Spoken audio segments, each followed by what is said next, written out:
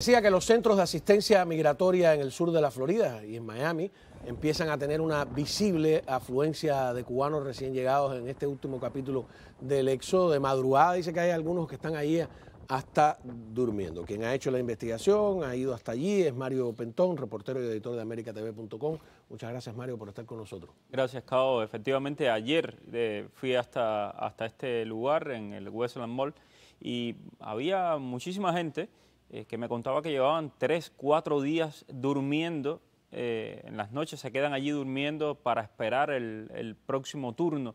Eh, estos son los centros que les permiten obtener ayudas económicas. Como tú sabes, a los cubanos que llegan aquí como refugiados se les entrega pues, unos 180 dólares en cash durante seis meses, aproximadamente unos 200 y algo de dólares en, en cupones de alimentos y también el Medicaid. Eh, durante seis meses. Que es un seguro médico. Es un seguro médico. Y entonces... Digo, para los que están en Cuba, ¿no? Exacto. No diciendo eso, van a venir más todavía, ¿no? ¿Cómo que, cómo que me dan Es la realidad aquí para ayudar Pero eso no lo habían suspendido. No. Eh, existen diferentes, eh, digamos... Criterios. Criterios, ¿verdad? Pero las personas que, que, están llegando ahora mismo con la I-220A, las personas que llegan con parol por la, por la frontera, les entregan este tipo de ayudas para eh, que puedan salir adelante, porque muchos de ellos... No, no, no, yo sé que llegar en blanco es terrible, ¿no? Exacto, llegan aquí con una mano delante y la otra detrás. Pero eso tiene críticos también, ¿eh? Muchos críticos, de hecho, eh, hubo una investigación muy buena del Sun Sentinel que em, tenía aproximadamente una cifra de 700 millones de dólares que ellos llamaban un subsidio del gobierno de los Estados Unidos a, eh, al régimen cubano. Ellos decían, estos cubanos después se van para Cuba al año y un día se van para Cuba y llevan su dinero. Bueno, ya el año y un día es más complicado. Ahora es más complicado porque tienen que defender un caso de asilo político. Que es mucho más largo. Vamos a ver algunas de las personas que entrevistaste ahí. Adelante. Llevo dos días con dos noches aquí para poder empezar los papeles. Y todavía, mira la hora que es y todavía nada. ¿Y, esos papeles por qué son importantes para usted? Bueno, porque es donde nos dan el papel para el permiso de trabajo, eh, para el social, para la licencia, es necesario tener esos papeles. ¿Usted se esperaba que viniendo a Estados Unidos iba a tener esta experiencia? Bueno, verdaderamente ni me lo imaginaba. Sabía que tenía que hacer un proceso de papeles, pero no que tenía que dormir dos días en una cola, que nada más dan 40 turnos, hoy eran 30. No me esperaba eso. Bueno, porque lo que tienen que entender, primero me llama la atención la edad, ¿no? Las edades no, necesariamente son jovencitos todos los que están llegando, ¿no? Eh, que de repente, pues, se eh, sobrepasan las capacidades. Es una avalancha, son 50 mil cubanos en, en, ¿qué? En cuatro o seis meses. Es mucho, mucha gente y los que están llegando por, por mar también, que de hecho hoy la Guardia Costera anunció una lamentable noticia, ¿no? Que encontraron un cuerpo de uno... De, los seis que están perdidos. bueno, ya arrestaron a seis. Ah, ¿Eran seis arrestados? Eh, sí, que se los llevaron a un hospital dentro del, eh, dentro del bote. Eh, los otros los llevaron a un hospital, estaban severamente deshidratados. la, ¿Y, los que dieron por desaparecidos cuántos Y hay dos que están desaparecidos, los siguen buscando. Y, es dos, además del cuerpo que encontraron. Además del cuerpo, sí. Además del cuerpo. Pero este lugar es uno de varios, ¿no? Sí, eh, existen muchas, eh, muchos centros de este tipo en todo el sur de la Florida y específicamente aquí en, Miami-Dade hay unos cuantos. Eh, por ejemplo, en, en Opaloca hay uno que es mucho más grande, donde también había un montón de personas. Dice que en la madrugada, cuando llegas allí sobre las 6 de la mañana, eh, hay muchísima gente. Esto me dijiste que es aquí en Hialeah, ¿no? Esto sí, esto es aquí en, en Hialeah, es en, eh, cerca del Westland Mall, en esa zona ahí. Eh, y bueno, ahí puedes acercarte a ese lugar, vas a ver muchísimas personas. Tenemos a otro de los que entrevistaste, adelante. ¿Por qué es importante este proceso que tienes que hacer? Es súper importante porque si no pasamos por aquí no podemos optar por un permiso de trabajo porque realmente los cubanos nosotros venimos a trabajar a este país y si no tenemos permiso de trabajo no podemos hacerlo legalmente. El seguro social también, antes de ir al seguro social, nos dicen que tenemos que pasar por aquí. Son dos cosas que son las más importantes. Bueno, porque interesante, fíjate, no es solo la ayuda, es el, el, permiso de trabajo. Qué bien, yo estoy totalmente de acuerdo en que le den un permiso de trabajo porque no tiene sentido dejar aquí a personas que después...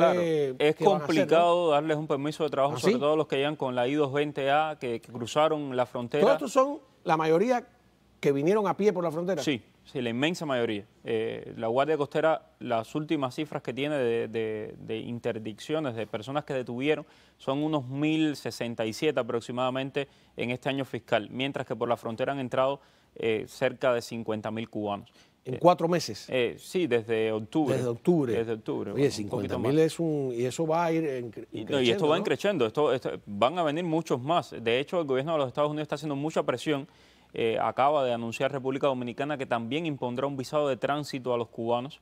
Eh, ya lo hizo Panamá, ya lo es por hizo exigencia de Washington.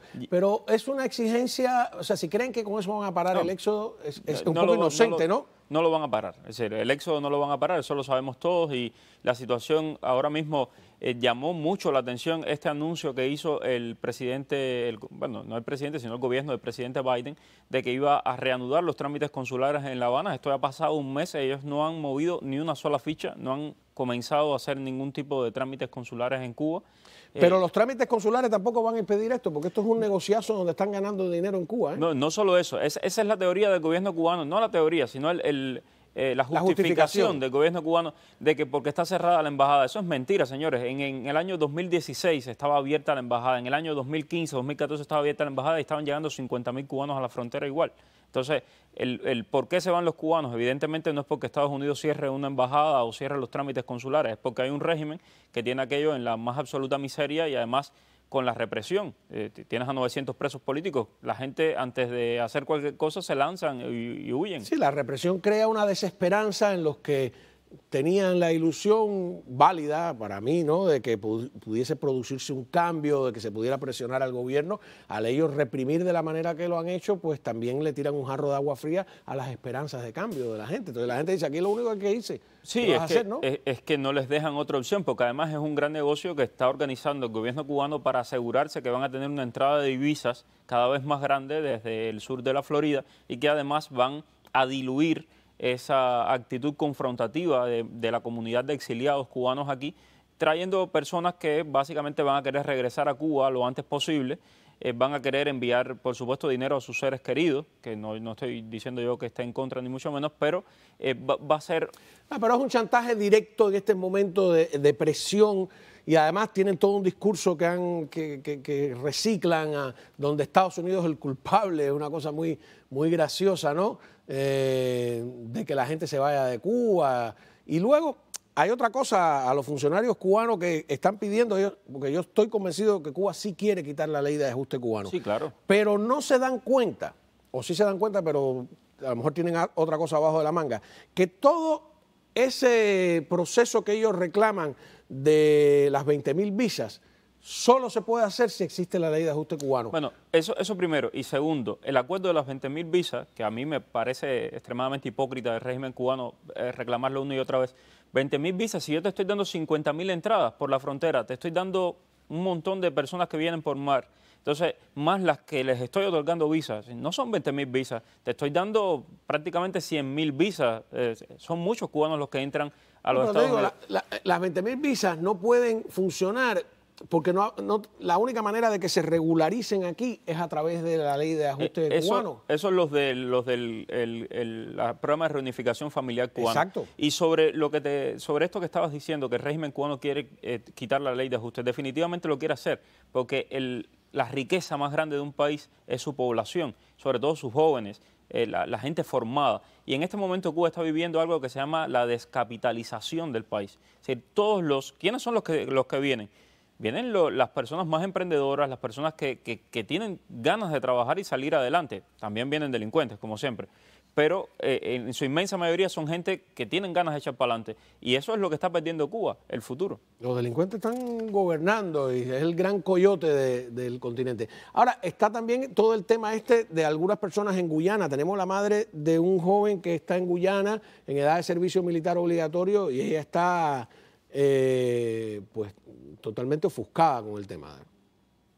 Mi hijo Cuba, definitivamente mi hijo no puede regresar a Cuba, Mario, porque mi hijo ahora mismo ya, o sea, eh, eh, ese ciclo, sabes que en Cuba es por ciclos para el llamado militar, para el servicio militar, ya mi hijo pasó ese llamado, mi hijo ahora mismo está regulado en Cuba, mi hijo no puede regresar a Cuba, ni aún cuando reinicien los servicios consulares en La Habana, porque el momento que mi hijo pase por emigración en Cuba es un solo sistema y mi hijo va a quedar en Cuba retenido. Mi hijo no va a regresar a Cuba. Yo estoy apelando aquí a, a, todos, a Marco Rubio, a María Elvira Salazar, a todos que me ayuden.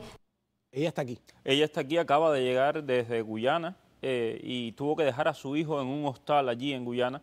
Y imagínate que la llama por teléfono el niño que tiene 17 años, es un menor de edad, y le dice, mamá, ¿qué hago ahora? Porque la dueña del hostal, que es cubana también, está llegando a la frontera y van a cerrar todo esto y no tengo para dónde ir. Sí, además el problema de, los que están autorizados a hacer el examen médico que, no dan abasto también o que desaparecen, etcétera. brevemente, el tema del servicio militar obligatorio. Yo veo mucha gente en edad de servicio que llega. Si pagas, te dejan. ¿Cómo es la historia? No, no, no, no. Bueno, claro, si tú terminas tu servicio militar, te puedes ir. Y si no lo terminas, no. No, no. Yo recuerdo una, eh, que eh, hace muchísimos años, Intercónsul le ponía precio a eso. Estás, eres médico graduado, te cuesta 15 mil dólares. Estás en edad de servicio, te cuesta 17 em, mil.